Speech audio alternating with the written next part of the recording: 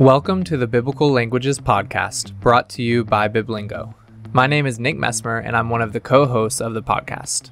In this episode, I interview a biblical language learner and Biblingo user, Alan Cossey, about his experience learning the languages.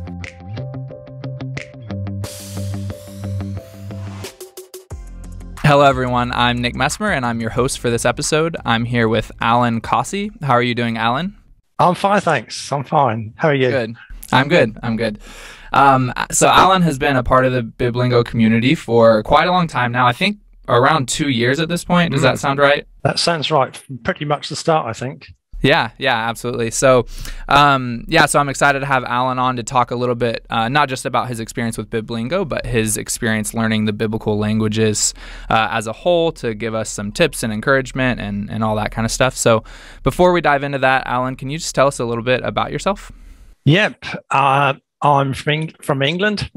I'm 64, married, three grown up kids who've now flown the nest.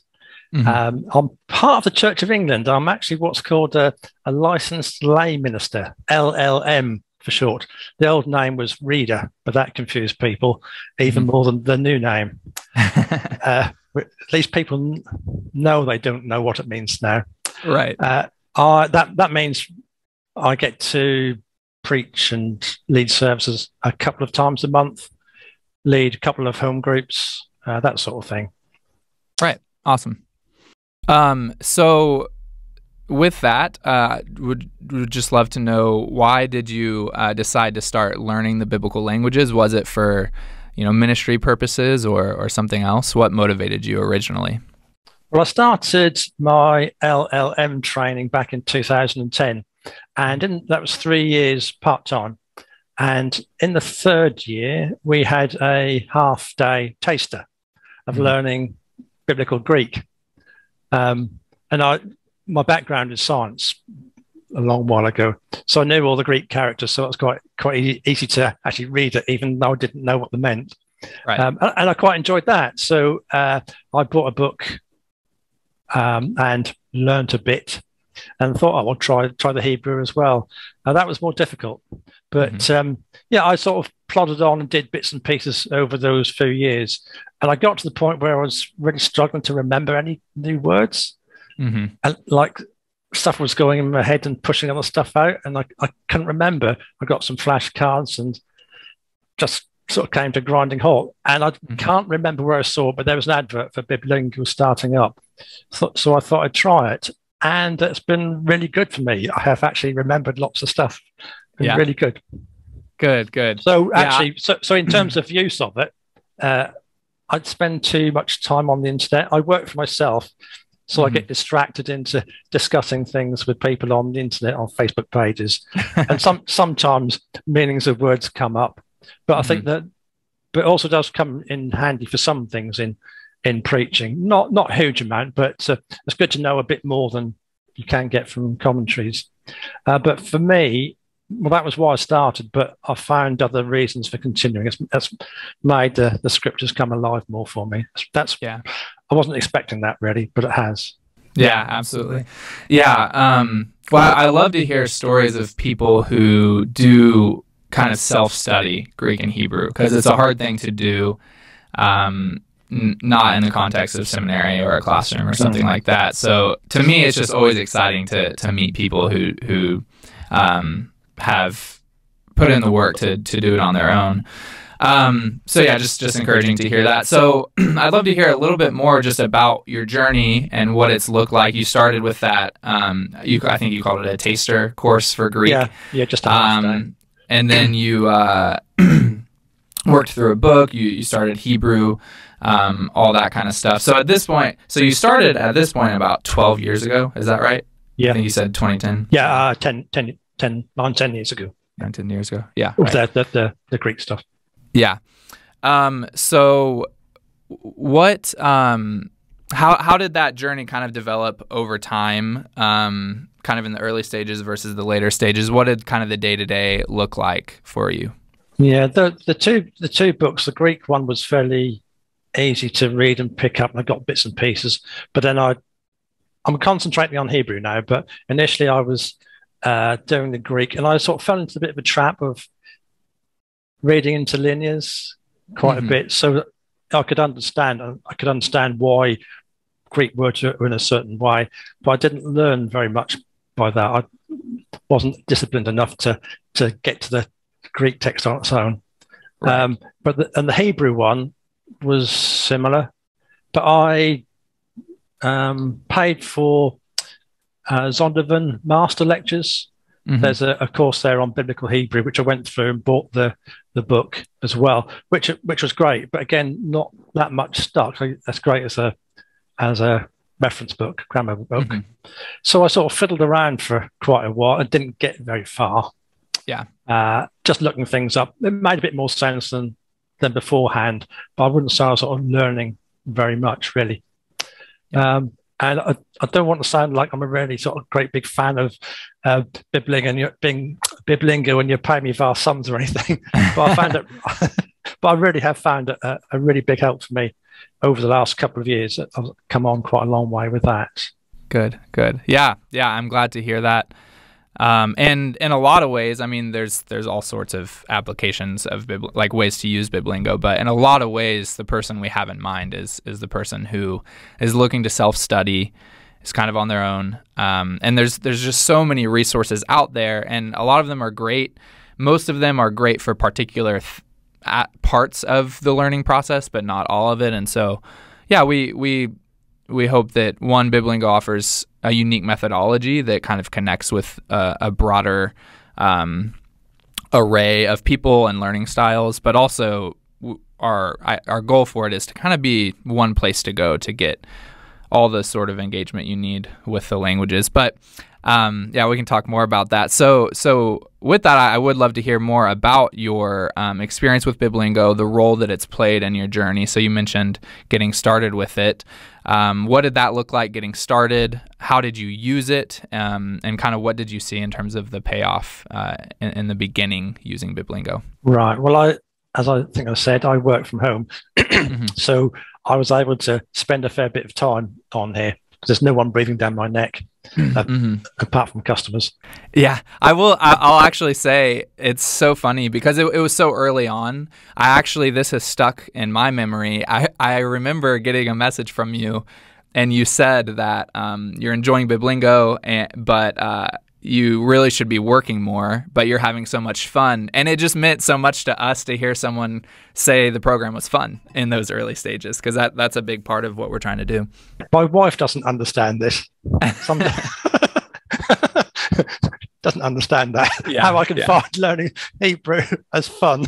Yeah, She sort of look- looks at me a bit strange sometimes. Yeah, I get that.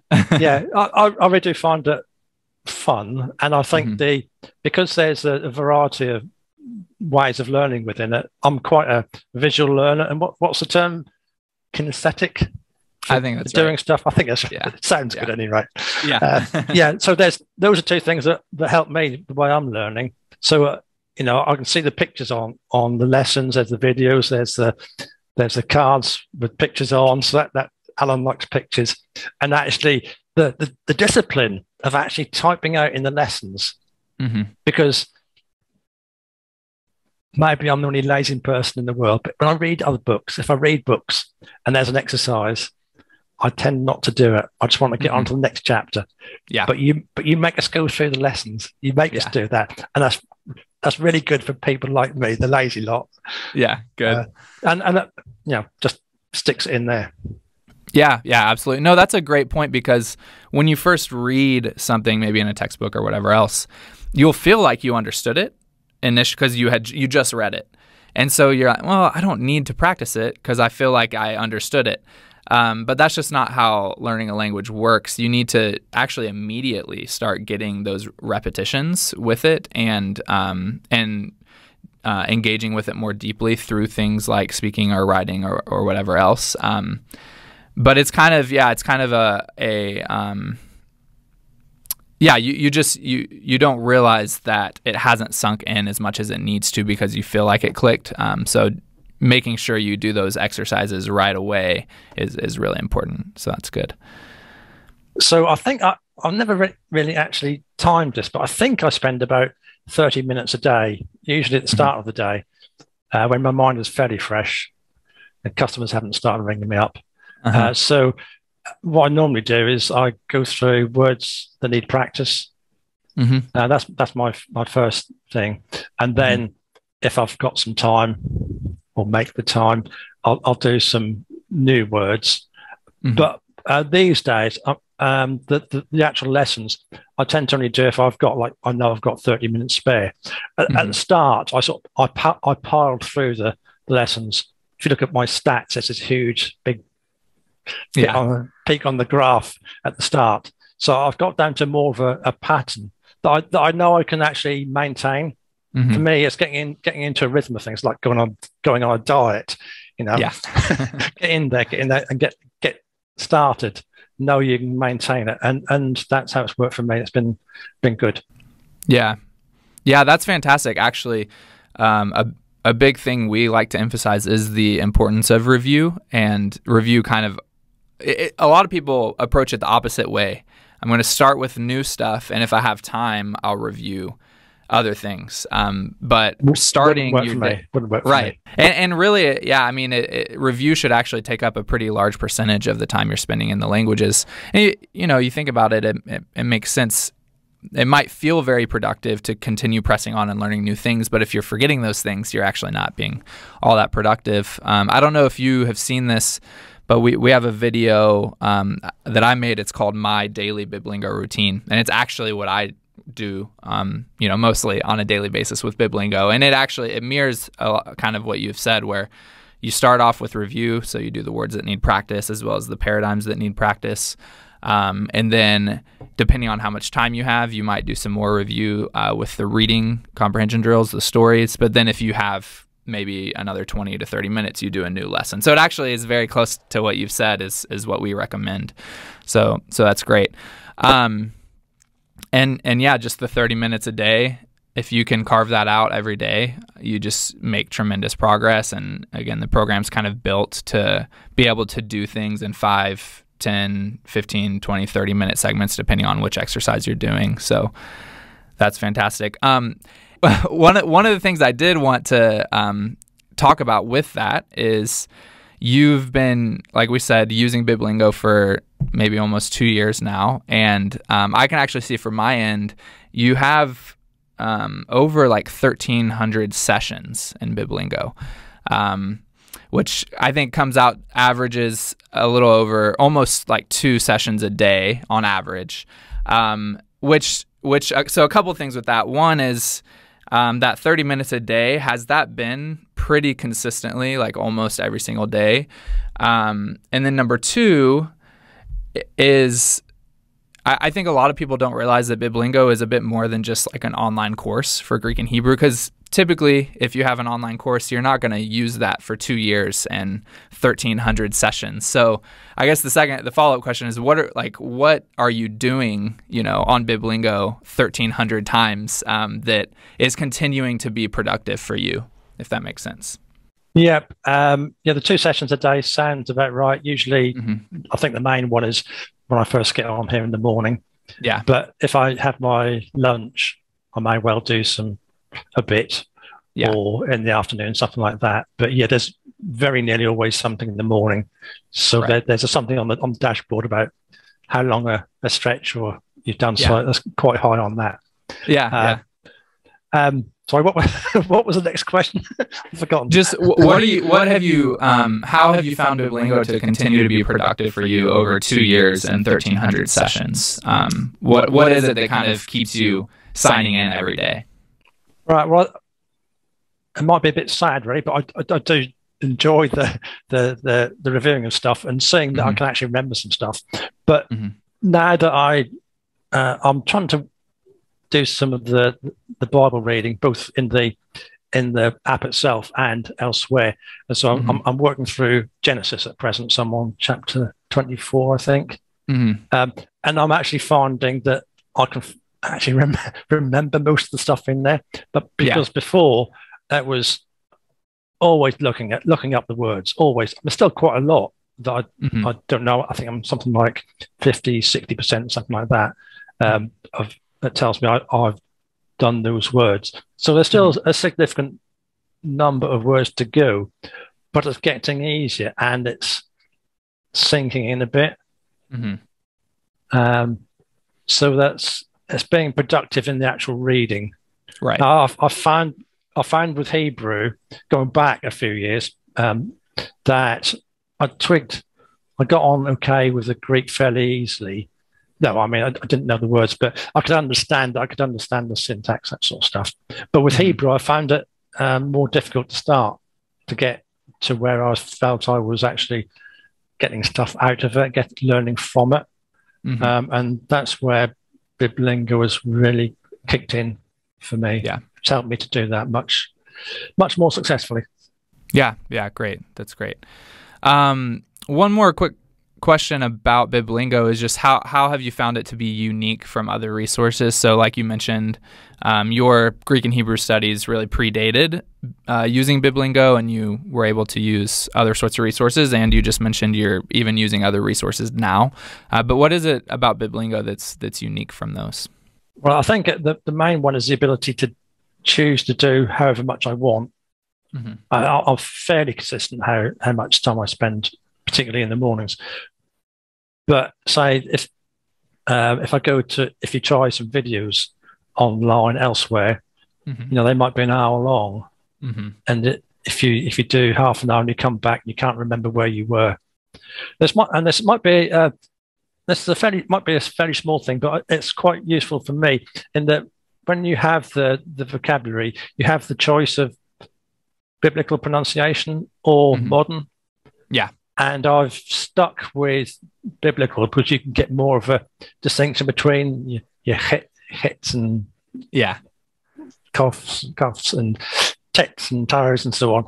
Um, yeah, that that is quite handy to me. Mm-hmm. Uh, that that that's been good, and also the the flashcards you can do a do a number that you you like and then come back later on, gradually build up. That's, I think it's the flexibility of it. Yeah, that's been the, the main thing for me. Yeah. yeah. And that yeah. actually to see and to see your progress as well. Because when I was doing my my, my flashcards before, you know, I'd have a pile of these things and and I couldn't really tell how many I how many right. I'd learned properly. Right. Whereas with Biblingo, it's, it's much more visible. Yeah. The progress. Yeah, yeah that's great. And uh, some something that's really important. There's a number of things, but two of the main uh, predictors for uh, what some people call language maintenance, just meaning like two predictors for um, someone keeping up with languages over the long term are um, use and motivation. So, the more opportunities you have to use the language, the more likely you will be to stick it out for the long run, um, and the more motivated you are uh, which those two things are pretty intuitive. But again, that that's really how we've built Biblingo for in terms of use. If you if there's something you can do productively for five minutes, that's going to give you more opportunity to use the languages uh, or 15 or 30 or whatever else. Um, and then the motivation, like you said, seeing your progress is is very motivating and just um, things being more interconnected, like you mentioned, you can see the percentage of words that you know in each chapter of Genesis as you read, which seeing that percentage go up can be pretty motivating as well, as you also feel it um, getting easier to read. So that's great. Um, I also prefer, yeah, for Hebrew, I use the biblical pronunciation. Um, and for the same reason in Greek, I use the early high koine. Just that both of them distinguish between uh, the sounds of letters more than other pronunciations, which I which I find really helpful as well. So great. So just a few. Uh, I have a few kind of rapid fire questions for you that I'll, I'll ask, and you can just throw out some of the first things that come to mind. And this is just really to help anyone who's listening that's maybe wanting to learn the languages or just got started, or maybe they're you know years and years into the process but um, need some motivation. So, what would you say has been the most helpful thing for learning the biblical languages?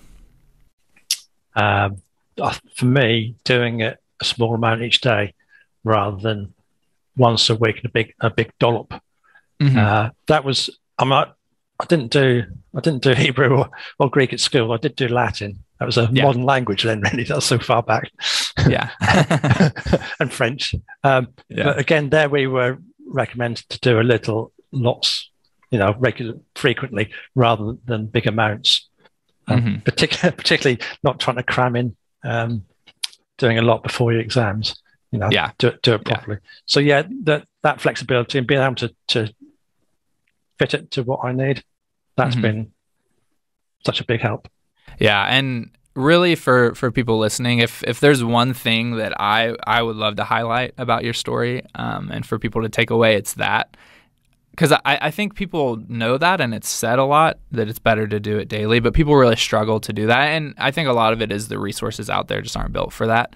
But um, I just think for your example of, you know, at least just looking at the past two years of 30 minutes, one to two sessions every single day for the most part for two years is such a, a great example of the way that language is supposed to be learned. And so, um, and yeah, so so if, if people take away anything, I think that's a, a great encouragement for people to that it's it's doable, it's achievable to to do 15 minutes, 20 minutes, 30 minutes a day for for two years. um, and, and and it might feel slow, but I'm sure you can look back to two years ago and just see that you've you've come quite a long way. So how has the journey been rewarding? But one of the things that, that surprised me, I was re- reading yeah, uh, Genesis 24 or something on that.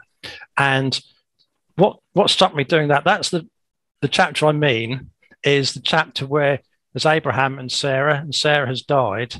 Mm-hmm. And the, the, the chapter is about Abraham trying to find somewhere to bury his wife in this foreign land. Now, mm-hmm. normally, if I was reading that English, I'd just read it through and that okay, I've gone past that and I'll get onto meatier stuff. Mm-hmm. Um, but here, I, because it, I'm forced to slow down, mm-hmm. and there's Abraham, this really important fellow who's come all the way across and he's doing great things for God, making some mistakes and so on, but God's using him. And then there's there's this very human Abraham who's lost his wife. Mm-hmm. And he's having to barter for somewhere, trying to find somewhere to, to bury his wife. Mm-hmm. And I'd never gone through that chapter slowly before. And having to do the reading in Hebrew slowly has, has slowed me down. And it's the meaning is sort of sinking in. Uh, I, burial of Abraham is not a, a, huge thing. You probably wouldn't do much preaching on that, perhaps. Mm-hmm. But it's it's got me into into the scriptures more. Mm-hmm. They're, they're, sort of sinking in. Yeah. I, am not. I'm not a very emotional person, even though I'm waving my hands around a bit. but but that really hit me a, a, couple of weeks ago when I when I was doing that. Yeah, yeah, absolutely, and that that's such an important aspect of learning the original languages. I, I think we often, I've said this before, but we often think of learning Greek and Hebrew, the payoff being you know, these deep theological insights, or there being some kind of information in the text that we're not getting in English. And th- those things can be true, but I think such an important part of it is being moved by the text in a, in a unique way. Um, I mean, the biblical text is is literature, and literature. The, the authors don't just give us information, but they package that information in a particular way um, for particular reasons. And a lot of those reasons are not just to provide the information, but to help us be moved by the information. Um, and not that you can't be moved by by difficult in uh, English or native language translation, but but you absolutely miss out on the unique ways that the author originally packaged that information to move you. So, um, yeah, I, I I often think about it like, you know, watching a movie versus reading the the movie script you know? Like you're you're just not going to be moved or or reading like a, a movie review. Like you're not going to be moved in the same way as as watching the movie because the movie was constructed in, in a particular way uh, in order to move you. So i yeah i'm i'm really glad you shared that example. Um so what have been some of the biggest challenges for learning the biblical languages? Early on with hebrew that was a bit of a grind. Whereas with, with Greek bits seemed to make sense early on. Hebrew, 10 years ago, whatever, was a bit of a grind before it start, didn't exactly click. There was no click moment, but things started to make more sense after a while. That There was like a, uh, a hump to get over with mm-hmm. Hebrew. Um, now, actually, part of the problem is is being tempted to spend too much time on it. Yeah. and I should I should really be working. yep. That's a good, Uh, eh, so from my perspective, good. a good problem to have. Yeah. Yeah, yeah. yeah, That's that- great. That's those are the two the two things that spring to mind. Yep. Yeah, absolutely. Um, how do you stay motivated? Well, I enjoy enjoy learning it. Right. I, I, I do have the the motivation that I, I do I do preach a couple of Mhm. times a, a month, and it's not every week by a long way that any of this comes up, but sometimes there are insights. I mean, when I um, if I'm preparing a sermon, I I have a, like a checklist of stuff from back from my LLM training days. Mhm. Uh, one of those is to look at the passage, look, read it through in two, three, four different translations, see if there's anything major different. But I now read them through in the original language because sometimes things pop up Mhm. uh, and you think, well, why have they put it a particular way? Sometimes the translation well can't. Translations can't catch everything, can they? From when you're translating from one language to another, so some Right. occasionally things things pop up there, and, and it has been a help with that as well. Yeah. Yeah. so that's that, great. that's a yeah. I, I want to I want to preach well. Right. I, I want to reach the pe- the people in the congregation. Yeah, yeah, that's great. And I th- I think that's a a good way to think about um, Greek and Hebrew.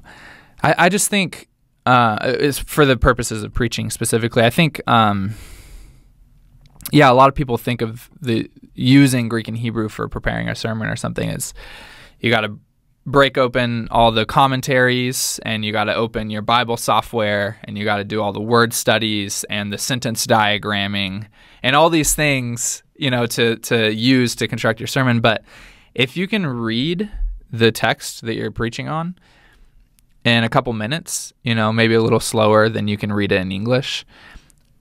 I mean, at the very least, like you said, it's going to alert you to things that maybe then then you want to break open a commentary or look at a little close more closely. Um, but I just think reading, being able to read fluently in the original languages versus analyzing deeply. There's a place for that, of course, but being able to read fluently, I think, is so useful um, because it doesn't take very much time and it, it kind of helps you see um, maybe where you want to spend more time thinking through the text. So, Yeah, you you you need to know and understand and feel the text more than you can actually get across in your sermon because Yeah. you might spend well, it seems to take me all day to do, to do a sermon, but Right. preaching is is twenty minutes, something like that. right. Um, but I w- but I find that I'm learning a huge amount as part of my preparation. Even, even if I can't get it across to the congregation, Right. even if they right. don't understand what I'm talking about, at least I've learned from from my Right. from my sermon, and this is Right. a big part of it. Yeah. Well, if you think about if you you know if you were preaching on that chapter from Genesis, um, you might not mention anything about the Hebrew in your sermon, but if you if you stand before your congregation moved by the text as you preach because of the way that you read it in Hebrew, I mean that's a huge payoff for having done it. Uh, in the original languages, even if even if no one in the congregation knows you read it in Hebrew, right? If they can see see that emotion uh, in the way that you I think it's important not to sort of say, as I was reading this in Hebrew, Right, look at- exactly. look, look at me. don't Uh, I don't it, think that's yeah. that's right. So I rarely uh, point out some, something like that unless I have Yeah. to. Really, so yeah, yeah, it's not an ego trip. yeah, absolutely. Um, so last question for you, and you know it can be from what maybe what you've already said before or something else, but uh, just for our listeners, again, we have listeners who maybe haven't even started learning the biblical languages, all the way to people who have been studying them for years and years. But do you have any final words of encouragement for any biblical language learners out there? I'd say give it a, a good shot. Put your heart and soul into it. Don't give up because there will be you will get a lot out of it. It does take some effort. You, unless you're a, a natural or a seven year old who, who just absorbs this stuff straight off, Mhm. it may take time. I'm 64, um, so things are taking a bit longer to, to sink in these Mhm. days. But I found it so so rewarding. both on a personal level and making me a, a, hopefully a bit more effective as a, as a preacher. Yeah, that's great. That's great. That's all we have time for on this episode of the Biblical Languages Podcast, brought to you by Biblingo. We hope you enjoyed it.